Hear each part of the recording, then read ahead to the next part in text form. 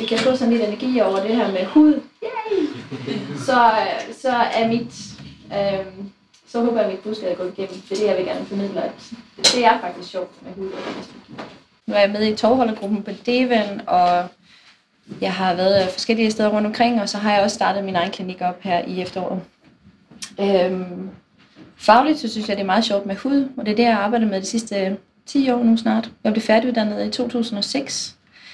Jamen, det er mange gange, man faktisk øh, smutter lidt for hurtigt over nogle ting, som er ganske basalt, som skrab, i hvilken retning man skal skrabe. Øhm, og det synes jeg selv, at jeg har lært meget af, når jeg har været på de der fuldstændig basale kurser.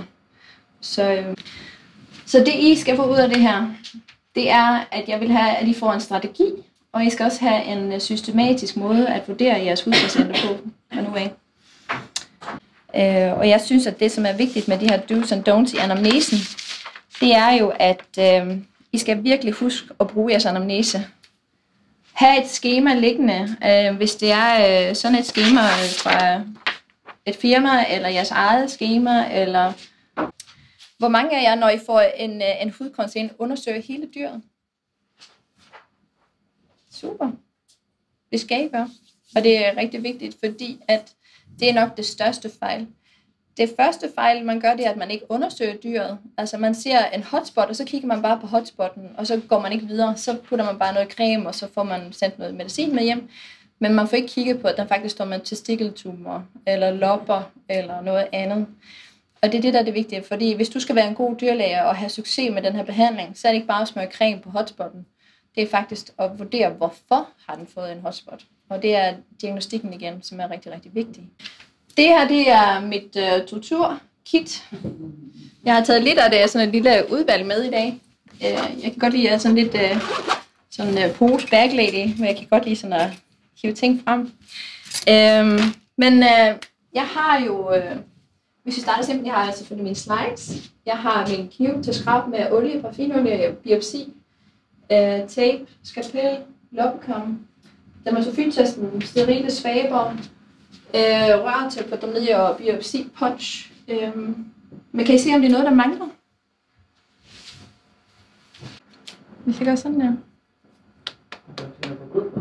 Ja. Altså jeg vil også sige, det har jeg jo lige snakket om, det der med, altså hvor vigtigt det faktisk er, at vi får lov til at køre en blodprøve. Og jeg synes, at øh, det er mange gange, hvor jeg finder ud af, at den blodprøve der, den, øh, den er næsten uundværlig. Den vil jeg ikke være for uden, fordi at den har haft leversvigt, eller den har øh, noget andet, øh, som gør, at jeg ikke kan komme videre med mit hudproblem, hvis jeg ikke har løst det her med huden, eller med, med den systemiske lidelse. Så øh, hvis man må en basis, altså blodprøve, og så urin, det er rigtig fint. Nogle gange så kan kunderne ikke komme af med de penge, men hvis man kan, så kan man spare sig for rigtig mange øh, problemer og ja, frustrationer. Og jeg, jeg har ikke råd til at smide alle de her farver ud efter 30 øh, dage, fordi det skal man også, fordi ellers bliver det gammelt. Jeg trækker det op i 10 ml sprøjter. Tre styks. En nummer 1, en nummer 2, en nummer 3. Sætter et låg på, alle de tre. Har mit lille objektsglas, og så sidder jeg og farver med dryp. Og så 1, 2, 3, 4, 5. Hælder af. Tager næste nummer 2. Nogle dryp. 1, 2, 3, 4, 5. Hælder af. 1, 2, 3, 4, 5. Kan I følge med? Og det er jo ret smart for os, som er udkørende eller ikke. Altså, så tager man det med, ikke? Og så står man ofte udenfor, og så kan man skylle det med sådan helt almindelig postevand, og så gå ind og kigge. Og jeg, jeg har fået så meget ros fra mine øh, altså histopatologer og kolleger, fordi de kan følge med, og de kan se. Og det er faktisk rigtig flotte præparater, fordi at det er, hvad jeg kigger i, øh, når man tager cytologien. Det er Basic 101. Malassezia helt ud til højre, stævn op i toppen, og så kokkerne ned i bunden.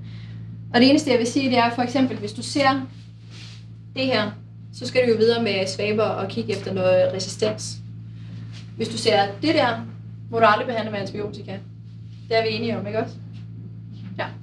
Og vi er vi ikke enige om, det er sådan meget basalt, men hvis du har en plet her, med nogle, øh, nogle hår, der normalt vil gro i den her retning. Hvis jeg så skraber den der vej, Kommer hårsæksmidlerne med, eller kommer de ikke med? Det er rigtig vigtigt, at du niver huden først. Du tager den op, og så laver du den her hudfold, ikke også? Hvor man sådan prøver at lægge det rigtig godt sammen. Og så til den næsten blødere, er, at du har nivet den. Putter olie på, og så skraber du i den der retning. Ikke i den der. Du skal skrabe hårseksmidlerne ud. Så sæt en god diagnose, så får I også en god behandling og en rigtig god succesrate med jeres hudpatienter. Det her, det er alle behandlingerne. I kender dem jo. Jeg kalder det e-behandling, når jeg sådan snakker hurtigt. Jeg elsker forkortelser, fordi det gør man, når man kommer fra USA. Men ekto- og endoparasitær behandling, det er basic. Altså det alle skal have. Hvis jeg finder en loppe ved første konsultation, så må du aldrig nogensinde gå videre og tage en blodprøve. Der skal have loppebehandling. Og jeg, jeg har arbejdet for, for, for dyrlæger, som så laver hele pakken, 15.000. Og så har han bare lopper eller kajtetæller. tæller. Det må man ikke, det er en no-go. Det er virkelig en stor don't. Øh, løft på halen, og så kig rundt omkring anus. Hvis han ikke har nogen hår, så er det højst sandsynligt foderallergi. Kattene, der ser man det ofte øh, her mellem øh, øjet og øret, ved tændingerne. Her var det en patient, øh, en, en øh, opdrætter, der kom og sagde, at min kat er blevet ødelagt. Det var jo foderallergi, de havde skiftet foder. Kan vi se det? Tinnikerne har ikke noget pels tilbage under halen og alle de der ting. Prøv, når I skifter over. I må ikke tage blodprøver for at tjekke, om den har fod, foderallergi. Lov mig det. Det er det eneste.